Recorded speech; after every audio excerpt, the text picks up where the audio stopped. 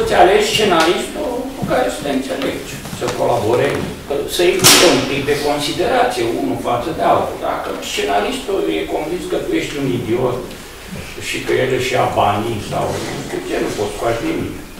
Acum, să știți că nu prea bă,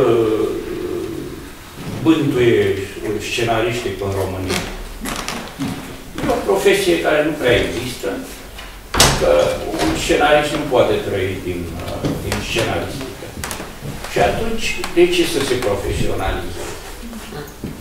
Dacă omul e scriitor, scrie o carte, o scrie cum vrea el, îl reprezintă, după aia, dacă vine unul și zice, vreau să asta, dacă e ca Dan Lungu, zice, ok, ești liber, fă ce vrei. Dacă nu, începe să aibă tot felul de pretenții deplasate după opinia. Pentru că alea sunt gândurile lui, care regizorul are alte gânduri. Și până la urmă tot regizorul este ultimul care decide acolo la filmare, nu? Chiar dacă stă scenaristul lângă. Dar dacă e un scenarist cu care te înțelegi, cu care comunici, uh, și sunt cazuri din astea, nu la noi, aiurea, așa, sunt scenariști care stau la, uh, se duc la filmare. Și uh, văd repetiția, uh, scene și se duc și rescriu. Deci, păi absolut, asta e colaborare. Asta e colaborare. Da, da.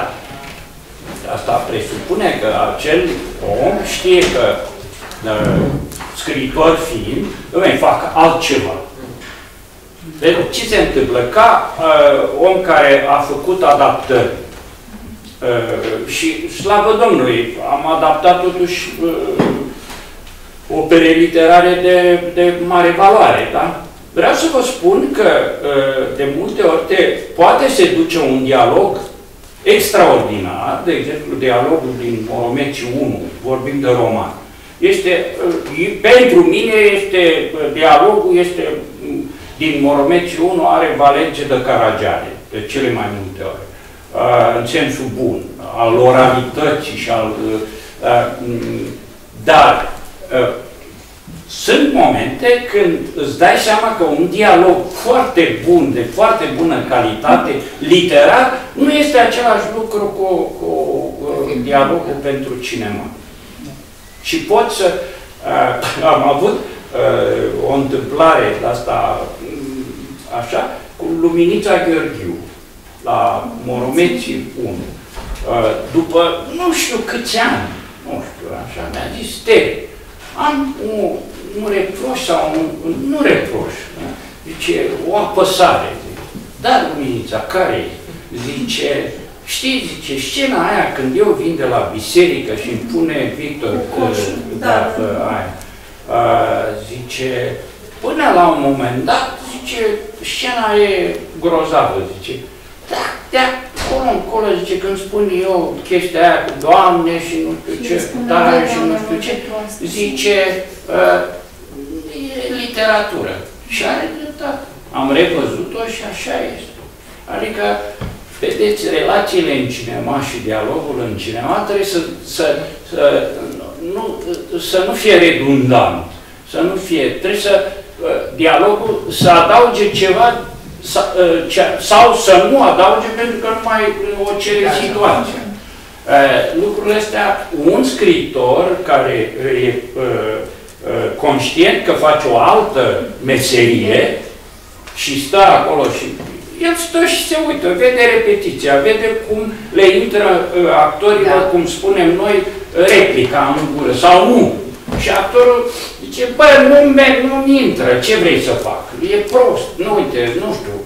Și uh, uh, dacă stă acolo uh, și are, are apreciere, vreau să spun considerație pentru ăștia care lucrează acolo ca tâmpiți, nu, regizor și actor, și îți dă seama că actorul ăla când spune că nu-mi intră în asta spune un adevăr, îl simte, e singurul care îl simte. Și atunci el se ducea și schimbă. Dar trebuie să fie un, un... Asta se întâmplă. Sunt scenariști care fac asta.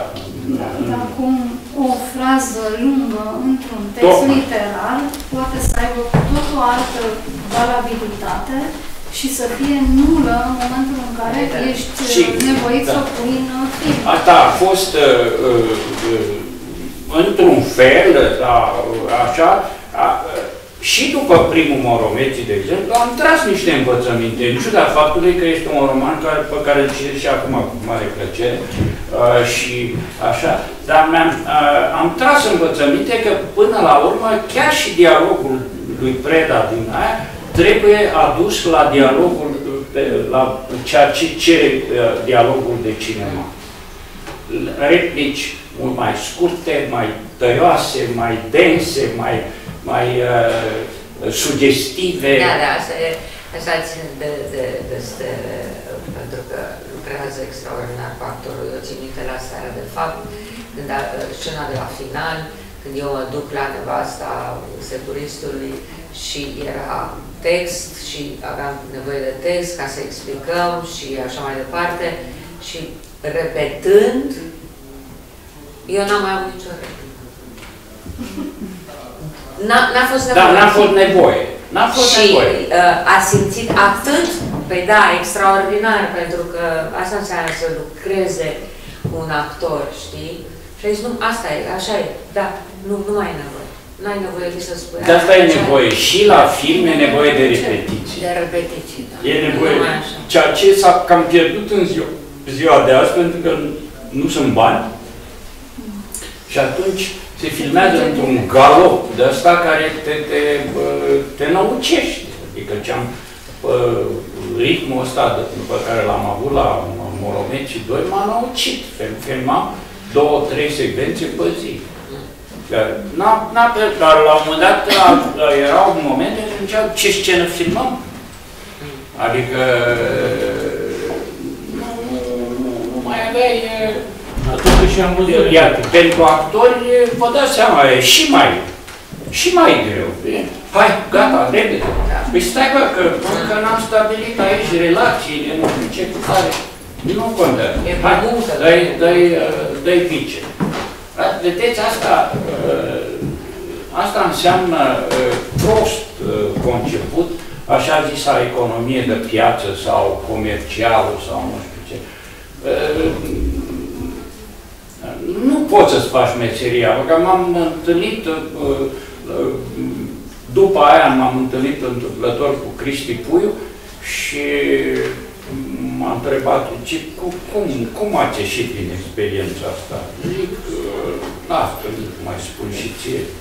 Zic, așa. Zice, domne, eu nu mai fac, zice. Nu mai, zice, eu nebunie, zice, nu mai poți să-ți faci meseria. Zice, ești sigur un nebun care ești acolo, zice, și ăia cred toți în jur că e un nebun care vrea chestia asta, să-i să, să uh, stoarcă pe alți de...